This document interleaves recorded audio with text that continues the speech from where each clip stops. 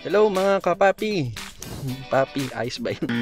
O sige, anyway, i-check natin kung legit nga ba to or scam. So marami sa inyo nakakita kasi sa Facebook nito madalas to nakapost kung effective ba o hindi. Tignan natin. Tara. So yan, papakita ko muna yung acid rain nung bintana ng sasakyan ko. So kaya ganyan siya karami, naka-door visor kasi ko. So pagka kinakarwa siya, usually hindi na yan naabot nung basahan o yung mga pantuyok. So check natin kung kaya niyang alisin to.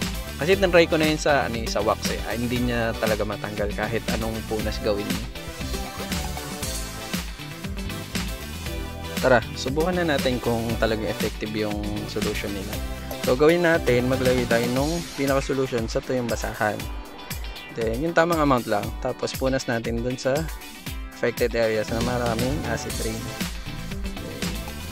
Wow ah. Yung unang punas pa lang natanggal niya kaagad.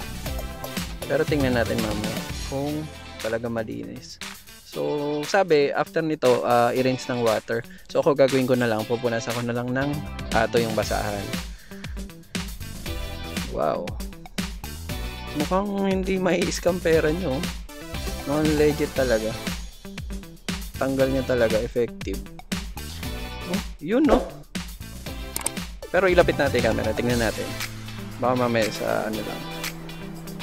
Yan. So, yan, uh, mga papi, 100% legit siya. So, kung gusto nyong bumili, hindi naman masasayang yung pera nyo. Okay?